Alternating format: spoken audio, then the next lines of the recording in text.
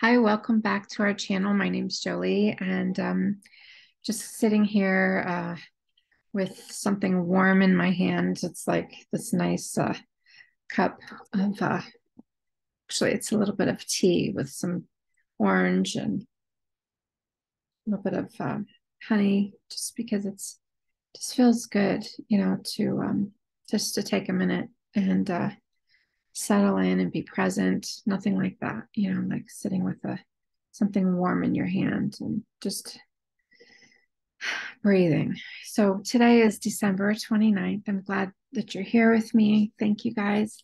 Um, again my name's jolie and today we're going to be reading from each day new beginning. It's it's a daily reader and um, it's recovery based and uh, on this channel i welcome you. Um, back if you're returning and if you're new. Hello. Uh, there are many uh, readings on this channel course in miracles all th- those are all completed. There's hope for today all completed and courage to change as well as one day at a time in al-anon. So um, that in addition to starting with paths to recovery uh, we're on step four. So you can find that all on um, the search area on the main channel and um, you can find just plug in the date that you're looking for and there'll be readings there for you. So you can you can um, just listen while you're driving in the car having your coffee in the morning or cooking something for yourself. Uh, just i listen to it a lot um, when i'm just laying down and before i start the, the day and then before i do uh, my morning prayers. So all right without further ado here we go. December 29th. Kindness and intelligence don't always deliver us from the pitfalls and traps. There is no way to take the danger out of human relationships. And that's a quote from Barbara Harrison. And um, goes on to say relationships with other people are necessary to escape loneliness, However, relationships do not guarantee freedom from pain. Nurturing a meaningful relationship with another human being takes patience, even when we don't have any. It takes tolerance, even when we don't feel like it. And it takes selflessness at those very moments our own ego is crying for attention. Can you relate? So, yet we need relationships with others, they inspire us. We learn who we are and who we can become through relationships. They precipitate our accomplishments, our creativity is encouraged by them, and so is our emotional and spiritual development. We can look around us attentively.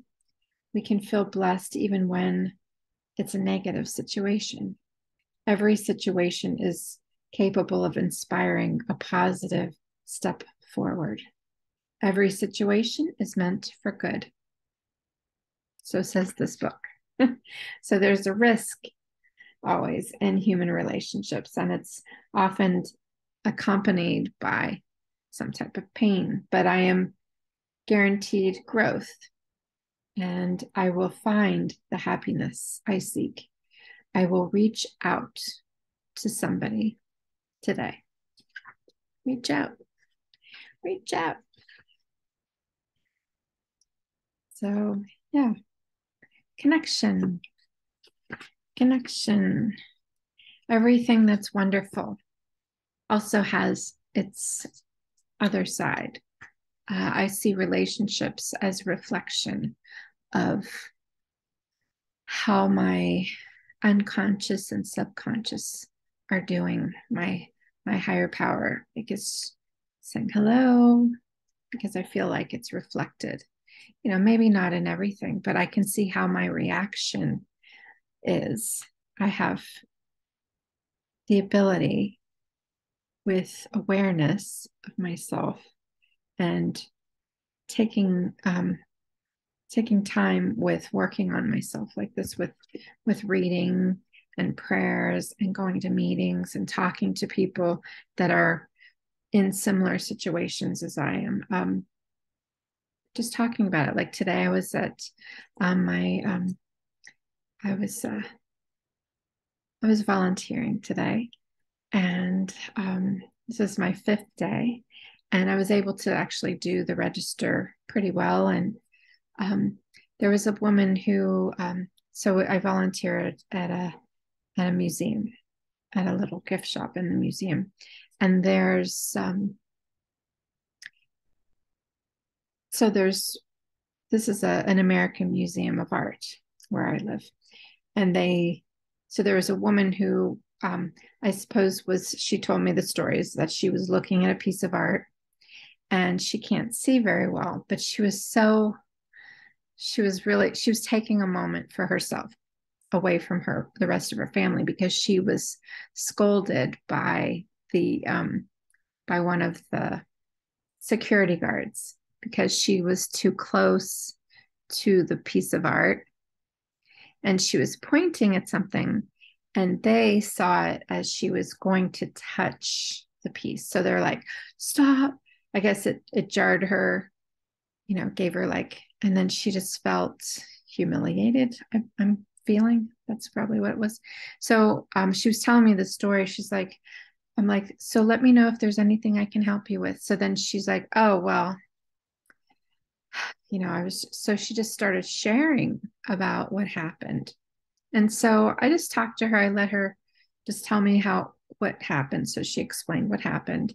And she's like, oh, well, I wouldn't touch the and then she often and then she even said that um that her experience, you know, just made her feel bad and that she would know better because her daughter was an artist and you know so she was trying to like throw all those credentials at me of why she wouldn't have touched that. And now, since she's had this experience, you know, I'm like, well, you know, said, you know, they probably were like, oh my God, because it's like really quiet in the museum. This is me talking to her. I've said it's so quiet in the museum that, you know, they may have just like been jarred out of their seat, like, oh my gosh, someone's almost going to touch something.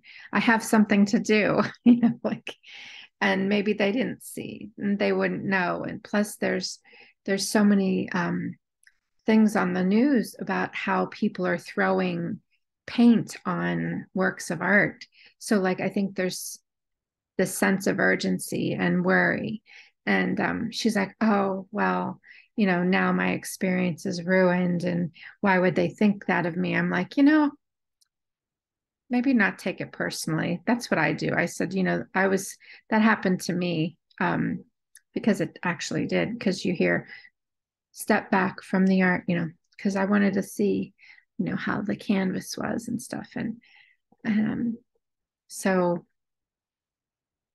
I don't know if she heard that or not, but I but I was able to talk to her and share with her my experience.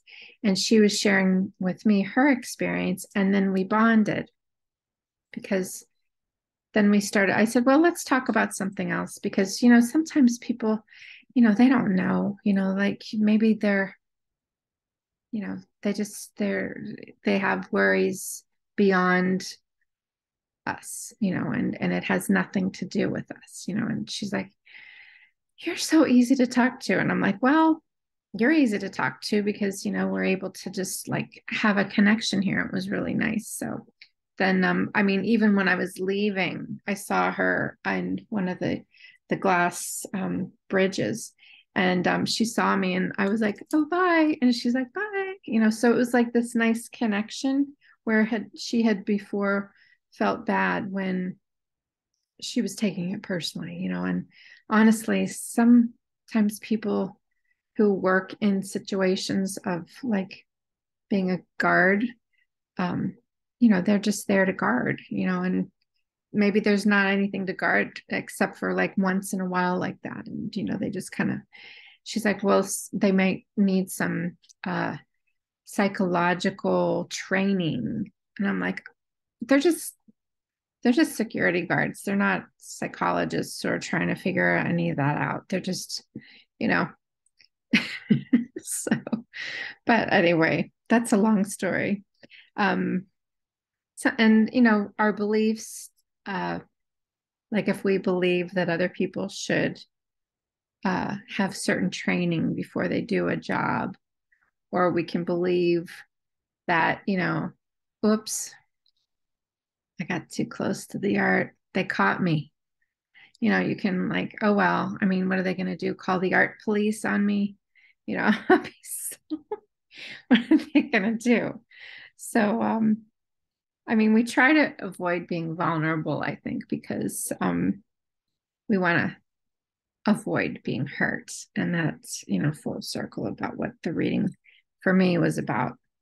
Um, and therefore, sometimes we like disconnect for from our emotions and um, and then leading for me leading me into like uncomfortable like being uh, in some sort of discomfort emotional discomfort when i feel vulnerable like when you get told not to get close to the art back up. Just, and you're like i wasn't going to touch it. Don't you know who i am? You know like or just go oh what sorry whoa whoa whoa. All right so anyway we'll go ahead and say the serenity prayer and um, i'd like to hear your experience with um, relationships or your your uh, experience at an art gallery if you were going to touch something. I mean, you know, the art is so beautiful. You know, want to experience it, but they say don't touch it because we have oils on our hands or something. I think it's just, you know, in museums, I mean, the art is so old and you don't know how necessarily it was put together. I mean, there's not one formula for a watercolor and oil painting. I mean, there's so many different ways that the artist may have done the work, depending on the relationship that they had with themselves and the time and what type of materials they had available to them. Anyway, that's for another time. And um, I love you guys. Say the Serenity Prayer and um, don't forget to like the video and share it with somebody if they're into recovery. Um, all right, so here we go. God, grant us the serenity to accept the things that can't change, and that's other people outside of us, places, things. Uh, to have the courage to change the things we can, and that's ourselves and our attitudes. And um, don't take anything personal. What other people think of us is none of our business, right? So, and the wisdom to know the difference. And it's okay not to be okay. So keep coming back. It works if you work it because you're worth it and you're loved, and the universe has your back. It's got you. You're okay right now. Like I said, even if it's doesn't seem like it, you know, it's always dark before the dawn. So there's life is in a circle. It's just always ups and downs. So, all right, I love you. Mm, I'll see you soon. Bye. Bye.